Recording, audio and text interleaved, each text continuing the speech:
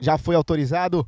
Vem o levantamento na segunda trave, subiu o toque de cabeça, a bola ficou viva, olha aí! Defendeu Felipe! Uma defesa espetacular! A bola foi passando por todo mundo.